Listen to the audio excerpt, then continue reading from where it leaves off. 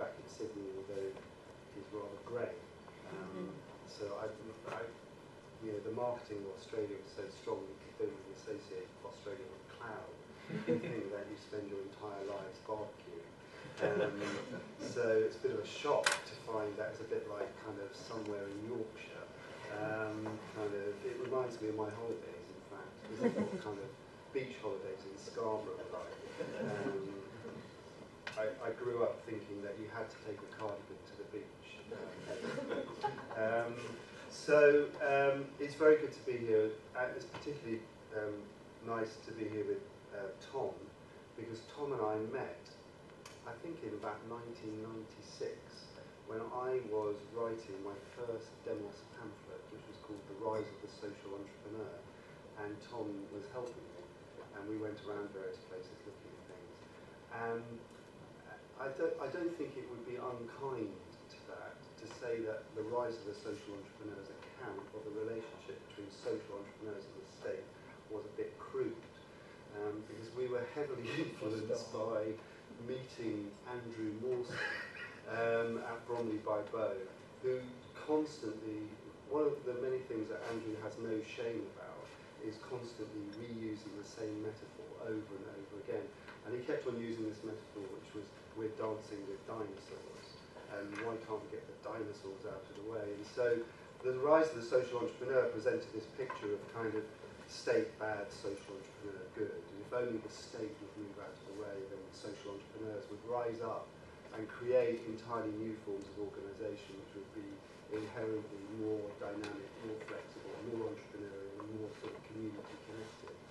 Um, it's fair to say, I think, two things. One is that our understanding of that relationship has become more sophisticated, but it's also become more important.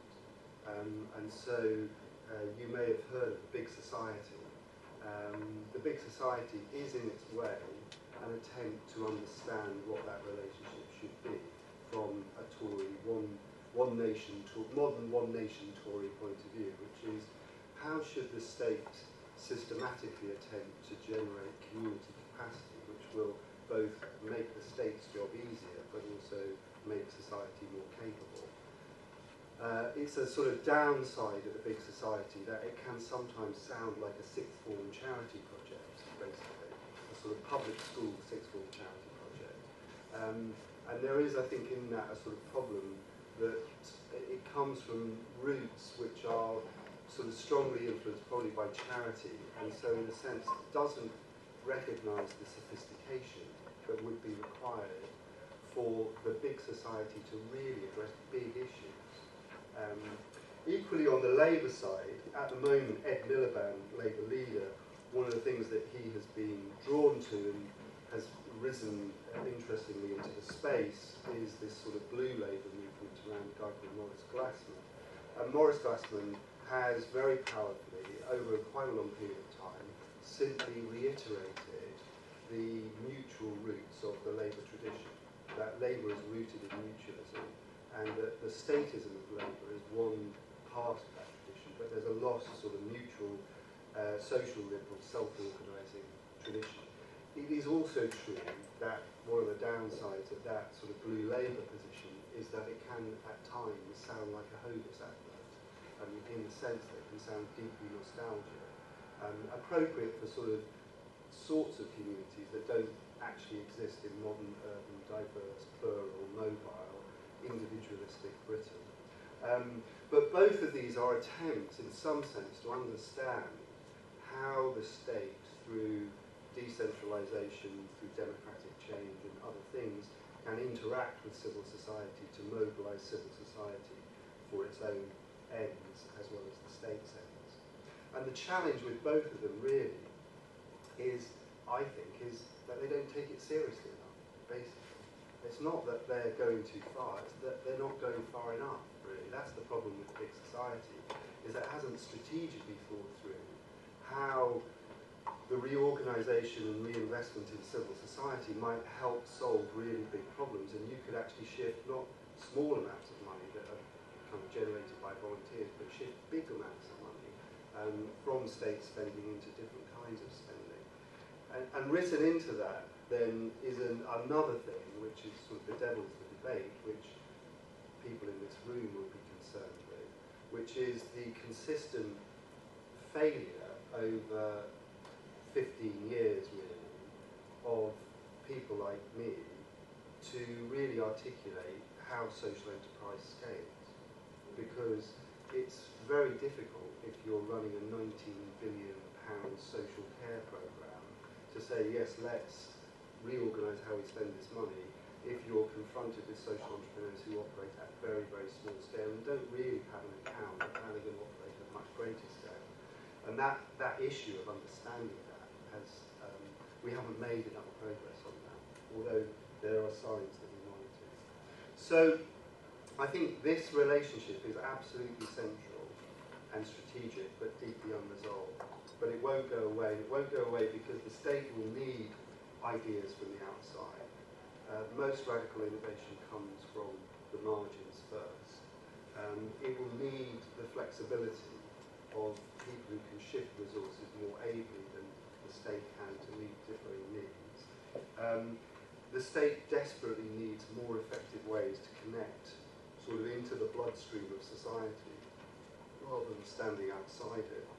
Um, and it, it needs that both because to be effective the state needs to learn much more um, powerfully how to change behaviour and change communities, not just push services at them and then withdraw. Um, and so that ability to invest in civil society organisations, which might then have a multiplier effect, is very important. And so if you're in a, a fiscally constrained state, and Britain will be like that in 10 years, the imperative for public spending to have a multiplier effect becomes even greater.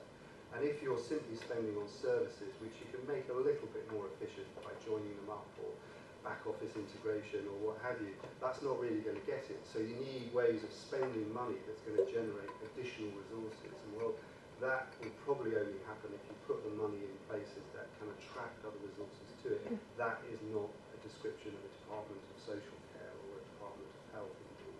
You have to invest it in institutions that can generate and attract resources to them, which is why the third sector, the civil sector, is so important. And then finally, just to sort of paint the final bit of context, is, is the context that perhaps Matthew will talk about, which is the influence of technology. Um, so th there are two big things there, I think, that I think are, are very important, will shape how government acts. The first is that culture shapes politics, and technology is shaping culture. So culture shapes politics because what people expect in terms of voice or information or involvement or engagement is shaped by the culture that we come from. And the culture that we now inhabit is one in which we expect to hear it first on Twitter directly, that we expect to be able to we expect to be able to connect with people laterally through Facebook. If it's um, if it's happened, we almost expect to see it on YouTube. Um, the, we, you know, we expect to be able to find a piece of information through Google. So the, the big impact of all this technology is that even if it doesn't directly change how organisations work, it changes culture and changes expectations, and that changes expectations of politics. And that's a situation in which people are going to expect much greater trans transparency, but also a much more sort of conversational, convivial, kind of um, sort of interactive form of governance, it seems to me.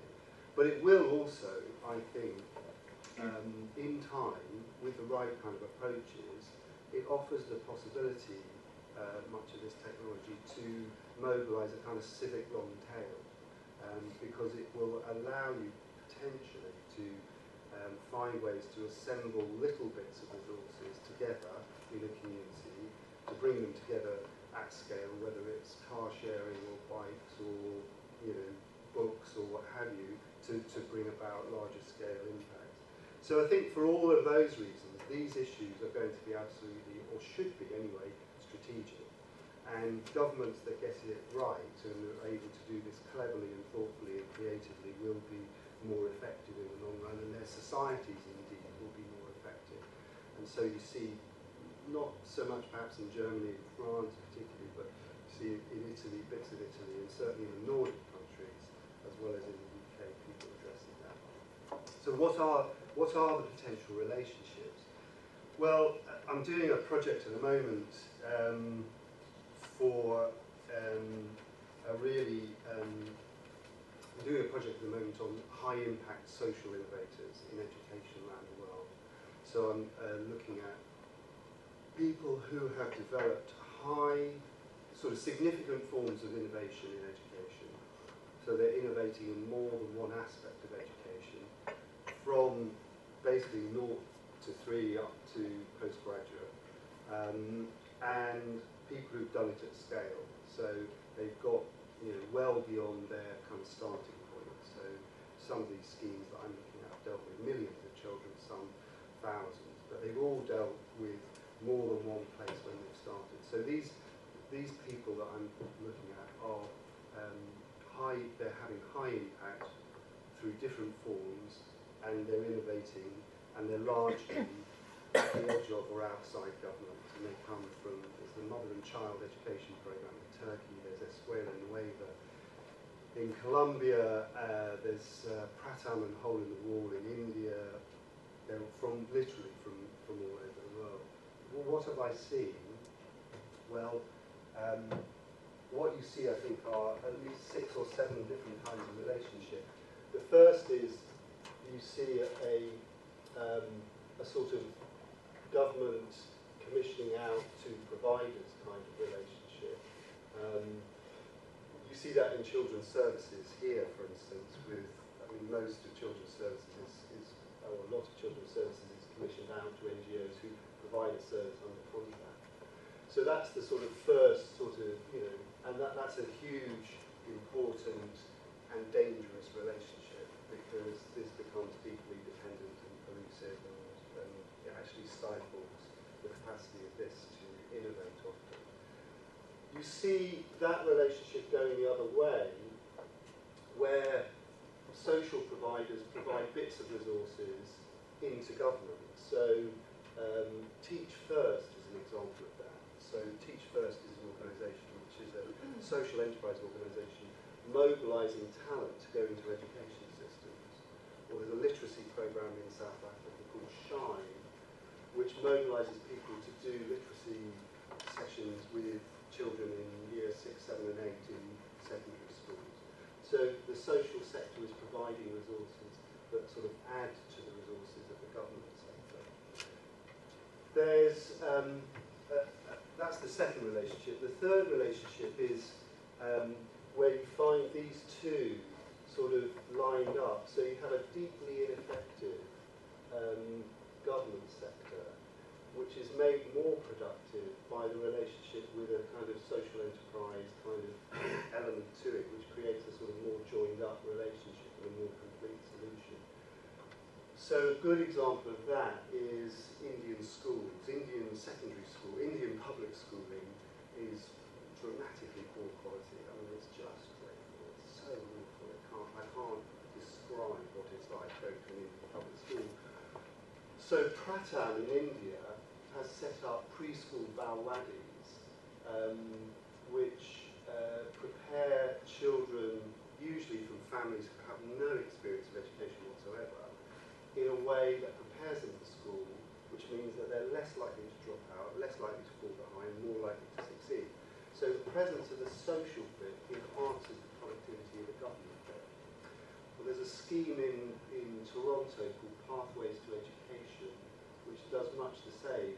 So it's based in an estate called Regent Park in Toronto, completely bombed out. It's like if you've seen The Wire, it's like The Wire, but in Canada. Um, uh, and just, you know, very low, um, I mean, less than 5% of young people in that estate go on to further education, a very low number complete college education. So Pathways to, Educa Pathways to Education started as a health project.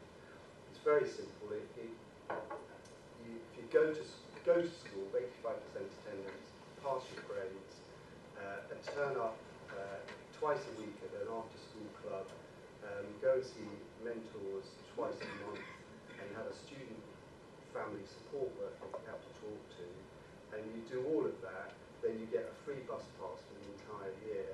You get $1,000 put in an account for your university tuition. And what it's done is that 96% of the kids on that estate now enroll in that programme, and 50% of them go to university. So it's completely transformed. Hasn't this bit at all. I mean, the, the education system hasn't changed a bit, but by putting this bit on the front of it, it has dramatically improved the productivity of this bit. So then there's a, a different kind of relationship, which is um, not so much this sort of sequential thing, um, but if you put a little bit of this in that, it's like adding some spice to it.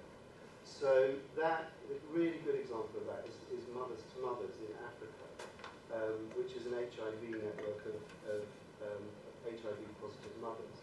Um, what, what that has done is it basically um, it's been a sort of catalyst to make an otherwise completely inert public system come to life.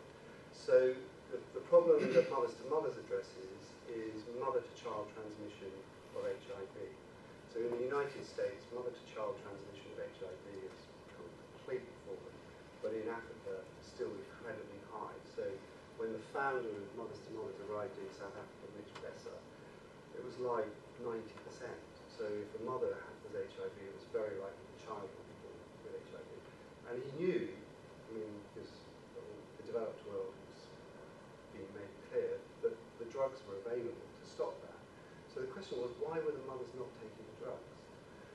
So he spent about two years trying to work out the answer to that question. And, and the answer is nothing to do with medicine. It's nothing to do with this kind of system. It's all to do with social things. It's all to do with the fact that there's so much stigma about AIDS and HIV and superstition and all the rest of it.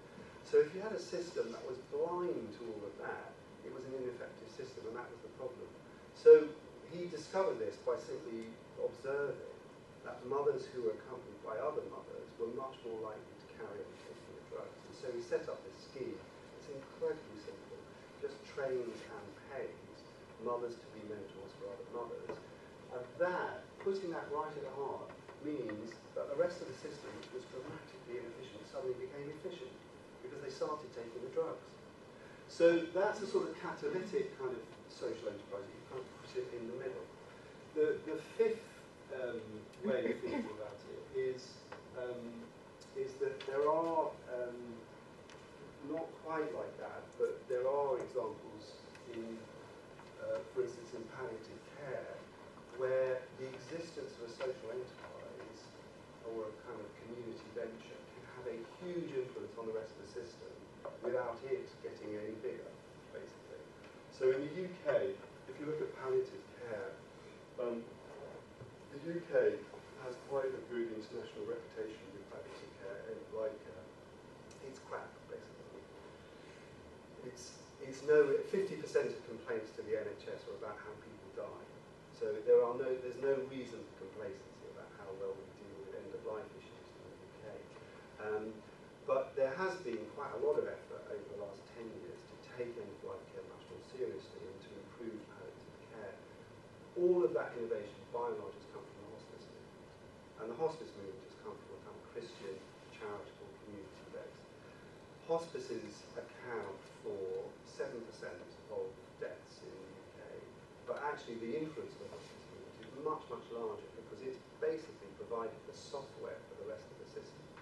So you have a sort of, um, this is kind of the hospice movement as a sort of software provider which provides the ideas which sort of animate the rest of the system, but it doesn't itself get any bigger. And then the final um, two are, there's a diff slightly different version of that, which is, um, if you look at Escuela Nueva in Colombia, um, Escuela Nueva in Colombia is a remarkable social enterprise set up by a woman called Vicky Colbert, um, which has basically provided an entirely new software for Colombian education. It Started from a very small base. It's a, it's a sort of constructivist, Paulo Freire, kind of very creative, very sort of engaged for pedagogy. Um, and Vicky Colbert has virtually transformed you know, much of the pedagogy of Colombian education through basically um, Escuela Nueva colonizing the system. so the, the Escuela Nueva has got bigger, but also in every school now you find a sort of Escuela Nueva bit to the school, um, which is kind of shaping what's happening in the rest of the system. So this is sort of colonisation. Um, and you find there's another thing in Turkey called the Mother Child Education Programme, which has done something similar. So it sort of it's developed over 25 years, of grew and grew and grew. Actually borrowed a lot of ideas from the Israeli HIPPY program, so it grew and grew and grew. Uh, at its peak, it was dealing with tens of thousands of women a year, um, and now it's probably got three programs left because what happened at its peak was the state took it over, and that was success. And then the social enterprise. So in that relationship, that's a very tense and difficult relationship because there are lots of kind of accusations that um, from some bits of that movement that they've sold out, that the state is watering it down, and then from other bits saying this is the only route to scale. We're now going to reach 30 million mothers as opposed to 70 now. Uh, and then the final thing that I see is, is um, uh, there's a very interesting uh, institute in Africa uh, called the African Institute of Mathematical Sciences, um, set up by a guy called Neil Turok, and uh, it's an attempt, it's an amazing institution. Um, it's training very small numbers, but it's training African mathematicians uh, who've gone through University of Togo or Sierra Leone or what have you, and preparing them to do postgraduate studies, either usually in South Africa or in the States or Canada or, or the UK. Um, and what AIMS has done, AIMS couldn't exist within the formal government, um, the university sector. AIMS could only exist as a sort of social, it's like a startup basically, it's like a project startup. But what they've done is drawn to it resources from the public system. So they can't exist inside the public system, but they can't exist without drawing resources in the form of and other things to it. Um, and so they created a sort of, they'll be parallel to the public system, but they draw the public resources to it. So that's just, that's just sort of seven different ways in which these two sectors can interact very creatively. Um, what, what do we need um, to make that interaction more productive, more effective? Just four things. One is, I think you would need some proper investment to allow this kind of exploration and for the investment to be clearly linked to strategic goals around aging or families or whatever it was that you wanted to really create that kind of capacity.